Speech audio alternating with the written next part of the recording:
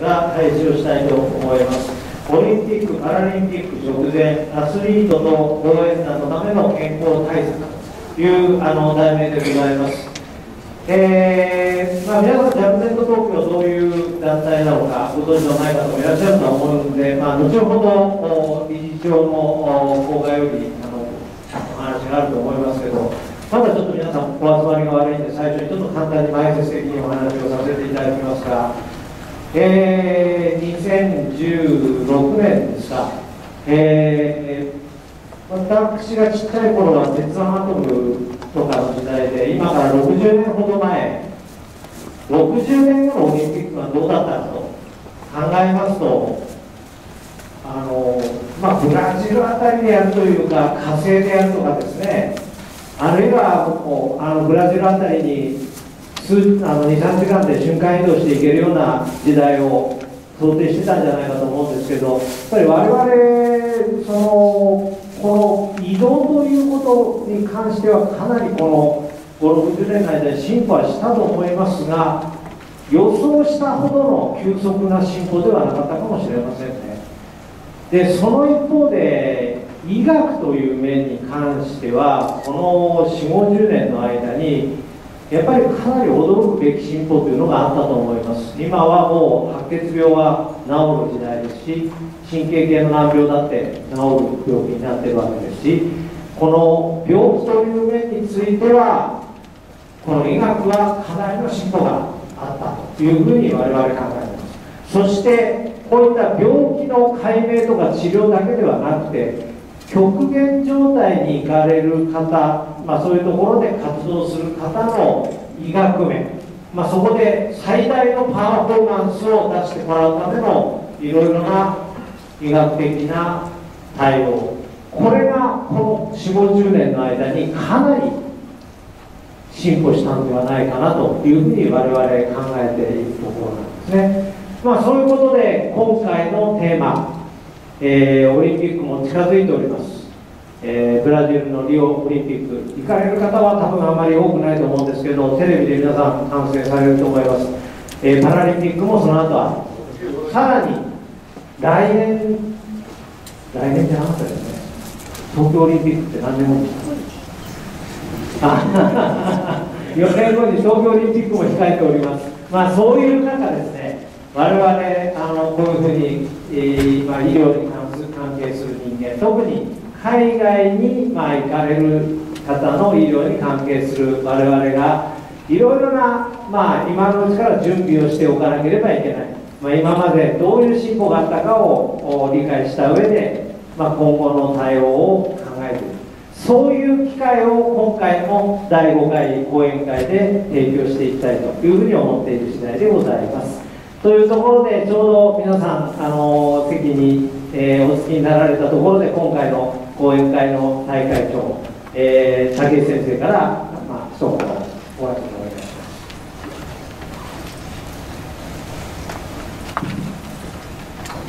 えー、皆さんこんにちは、えー、大変あの暑いというかあの大雨降ったということでちょっと交通機関の乱れがありますので、えーあれですけども、あのようこそ第5回のジャムネスト東京の講演会にあのいらっしゃいただきましてありがとうございます。えー、大会長として一言ご挨拶申し上げます。えー、まああの浜田先生もおっしゃられたように、このジャムネスト東京というのはまああの NPO という活動をしておりまして、えー、実はそのちょうど4年前、2012年7月29日にちょうど同じ場所でです、ね、第1回の講演会をおさせていただきました。えー、やはりこう国境をまたぐといいますか、まあ、日本はこういう海外をお、まあ、活躍の場にする、まあ、日本人のためのお、まあ、特にまあインターネットを介してですね、えー、医療的な情報を、まあ、正確な情報を、まあ、提供するというような趣旨で、えー、立ち上がったという、えー、また細かいことはあの東部の小川理事長の方から話があると思いますけれどもえー、やはりあの日本に行って日本人というのは、まあ、メジャーです。海外に行って日本人というのは、まあ、どちらかというとマイノリティかもしれません、えー、そこでやはりパフォーマンスを維持するとおあるいは生活をきちんとこう立ち上げるということになるとまあ、最も不安な点というのはやはり情報だと思います。えー、それはまあ医学にかかわらず、まあ、あの福祉、あるいはまあいろいろな生活においてですね、やはり何よりも正確な情報というのは非常にこう、特に日本語で分かるということが非常にメリット我々の活動の一つとして、えー、そのような情報を、まあ、提供しているという活動団体であります。えー、第1回目はあの浜田先生ご専門の、まあ、特攻医学ということで特攻に関すること、えー、それからです、ね、第2、3、4回は、高齢者問題メンタルヘルスというところをやっていくあのありまして、えー、今回第5回目は、まあ、オリンピックの直前ということでありますのでスポーツに関係したあ講演会ということでぜひスポーツに関係する方々に関しまして関しましてはこのジャムネット東京をあの本当に、えー、どんどんなく利用していただいてですねあのまあ、活動活用していただければというふうに思っております。え今日はあの非常にこう有料あの興味深いといいますか非常にこうあの高い講演をご用意しております。えー、シンポジウムもあります。えー、それから終わりましたらあの懇親会もありますのでぜひあの交流を深めていただいて、えー、有意義な一日にしていただければというふうに思います。どうか今日一日よろしくお願いいたします。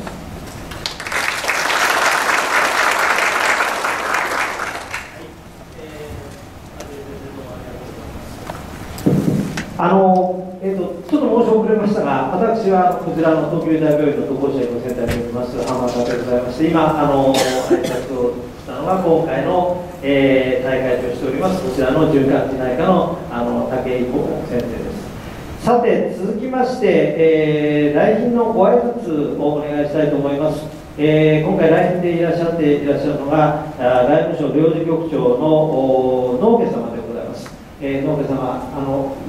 ご挨拶をお願い申し上げます。失礼いたします。あの外務省領事局長の農家でございます。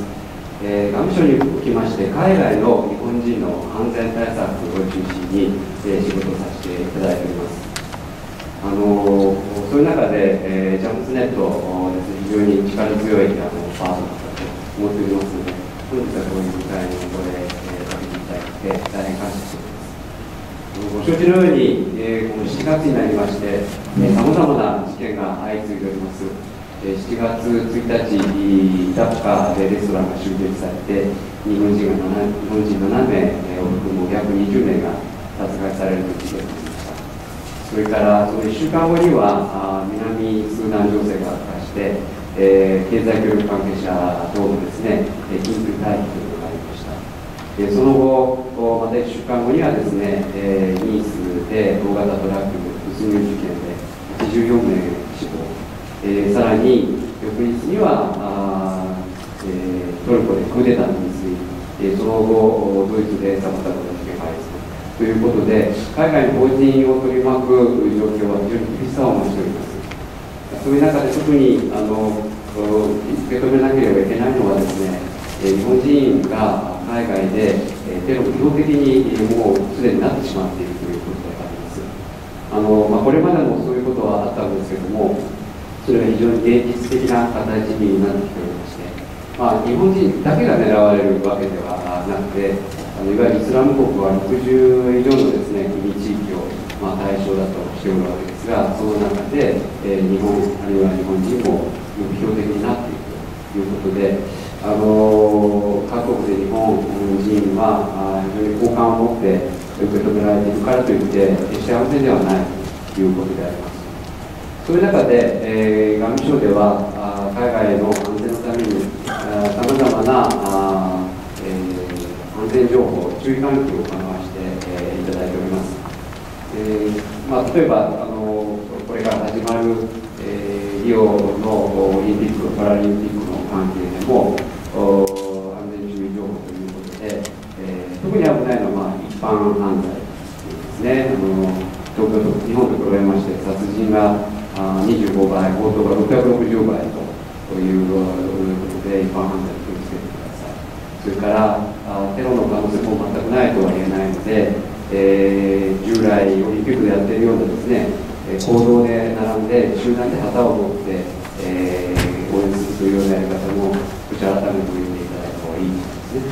それからあ自家ウイルス感染症をはじめとした感染症についても注意が必要です。こういったことをあの申し上げておるわけでございます。そういったことでいろんなああの、えー、情報を皆様に提供していくということがあ重要でありますけれどもいろんな場所でいろんなことがあ起こる可能性がありますので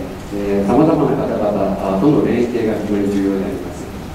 えジャムズネットは9.11の後ですね医療関係者の問題意識を確認して、えできたああのネットワークと聞いておりますのでそういう意味で、え私たち外務省の仕事とですね非常に関わり合いが深い方々だと思っております、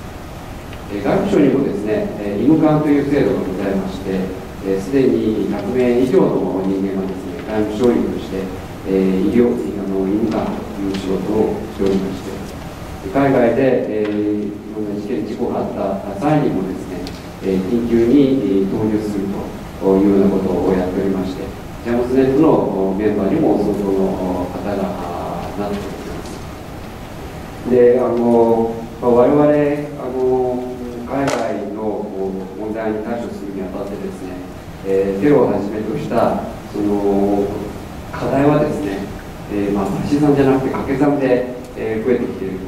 という印象がありますので我々対応する方もですね、えー、それぞれの人が持ち場持ち場であの自分の仕事をするだけじゃなくてですねいろんな場所にいる方が連携してこちらの対応もですね掛け算でやっていくことが必要だと思っております。そういう意味でですねこういったそのネットワークの形で皆さんがあ情報意見交換をしてですねえー、対応の役に立てていただけるような仕組み、非常にあの意義があると思っておりますので、えー、本日はですね、ぜひ有意義なあ意見交換をしていただいて、え今後もですね、え一緒にいろんな形で、え行動できることをあ期待しております。では、本日は良い会議を期待いたします。以上でございます。えー、農家様どうもありがとうございます。えー、続きまして、えー、ジャムズネット東京を代表いたしまして理事長の古賀よりジャムズネット東京に関する簡単なご紹介をあのいたしますんであのちょっとあの気になってください。えーえー、本日はお忙しい中お参加くださいましてありがとうございます。えー、理事長を、えー、しております、えー、小川でございます。よろしくお願いいたします。で、ジャムズネット東京の、えー、ご説明ということで、えー、少しお時間をおいてみたいであの前のスライドに出ておりますが、官民連携のネットワークとして、えー、ジャムネットは917度から、え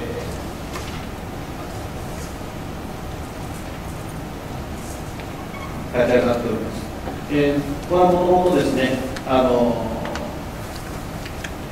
あ先ほどもあのえ、すみません、えー、中野先生、えー、はじめその医科の先生方が、えー、始めたもので、えー、それはあのニューヨークの、えーまあ、ネットワークを中心にして、えーはい、開発されたものです。で、これはあの2001年11当時多発テロの様子ですが、えー、この時にはあの非常に情報が少なかったんですね。でまたそのメンタルに対する、えー、対策等も、えー、非常に立ち遅れておりまして、えー、大変だったと聞いてございます。でこれを契機に法人医療あるいは福祉教育このような関係者との官民の連携の必要性がえー、させられまして、まあ、ジャムネットが、まあ、ネットということで、つなぎなんですね。えーまあ、それで、えーまあ、どのように伝えるかということですが、まあ、ここに書いておりますように、えーまあ、あのなるべく簡単な形で、で皆様からのそのいろいろな悩みですね、こういうものを拾い上げて、え、専門家につなぐ。で専門家のネットワークを作ってございますので、えそちらから、え回答をいただいて、えーまあいい方向に、え解決できるように思っているということでございます。で、海外法人の日本への合意も、えーここにつながるということですね。これはあの311がえー5年前に起こりましたが、えー東日本大震災で、えー日本が、えーやられた時にですね、海外からのえ日本人の、えー思いを、えーつなぐというような東北支援と、あの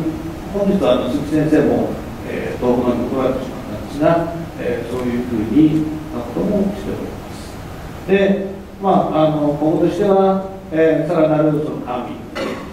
あるいは症状間の医療職の提携ということで、え厚生労働省の医系機関の、それから防衛省の機関の方、えーこれ、ここにもドクターがたくさんおられるんですけれども、えーそういうところと、えー、ネットワーク、医療機関ということで、えーあの日本のために、えー、経済かということで、えー、進めてございます。それから学会との連携ですけれども、えー、先ほどの浜田理事長ですね、日本日本都合医学会の理事長ですけれども、えー浜田先生とを中心にして、えー、都合医学会との、えー、連携も、えー、やっておりますし、また多文化感染心医学会というのがございます。これはあの本日あの、えー、勝田先生来られて外に、あ、一番上におられましたね。で、勝田先生が、えー、されてる、勝田先生とあと、内務省のその鈴木先生もされてるんですけども、えー、まあ、こういうところの連携も協力してことでございます。で、ダブルネット東京の、えー、理事幹事、まあ、準局名会ということで、えー、このような取り組みでございます。で、えーまあ、今回の、私、理事長ということで、えお話しさせていただいておりますが、私は実はあの、え理事長を、まあ、代行しているという形でございまして、えこれはあの、え前理事長の、え長本先生から、えーご指名ということで、私が一応代行してございますが、えーあのまあ、今後とも、えー、長本先生と二人三人で、えー、進めていきたいと思ってございます。あとは、あのこの名誉会員ということで、先ほど農経局長の方からですね、お話にございましたが、えーこのように、えー、官民一体で、えー、物事を進めていきたいということでございます。で、ダブネットはニューヨークの団体がございまして、こちらは個人ではなく、団体が24団体が集まっております。それからとダブネット東京、それからダブネットアジアですね。でこのアジアの方が緩い団体なんですけども、緩いつながりで、えー、つながっているということですが、えー、今後あとダブネット東京とともに、活動していくということが、えーまた、ダブネットカナダ、それからダブネットドイツです、ドイツとカナダの、えー先生が来られていると思うんですが、えーどちらおられますでしょうか。はい。えー、とこちらね、あのお二人来られてますで、えーまたあのそういうあの後ほど懇親会、えーまたあのお話ができるんじゃないかと思います。また、ジャムネットオーストラリアも、えー、開催してございます。えーまあ、以上ですね、まあ、日本語で情報提供活動ですね、これはあの英語で結構、例えば CDC とか、WHO とか、そういうところで、えーございますが、実際問題として、やはり日本語がベース、我々は日本語ベースですので、まあ、日本語に、えーまあ、変換して、えーそういうお話もする。またメンタルなどは、えーなかなかその英語で対応してもらうことも難しいところがありますので、えー、この専門の先生方に、えーそれからメールによる個別相談とか、えーその他、あこのようにあの前に書いてございますが、えーいろんな支援、あるいは、あのやっていかなきゃいけないということがあ。で、えー先ほども、えー、浜田先生の方からちょっとお話があったと思いますが、えー、ダブネットワールドっていうのが11月の23日、来年ですね、11月の23日、26日に、えー開催予定でございまして、これはあのー日本国法医学会、それから、日本熱帯医学、それから日本国際保健医療学会の合同学会が、えー東大の安田講堂でございますので、えそちらと一緒に、えー、やるということを予定してございます。えー以上です。えー本日はよろしくお願いいたします。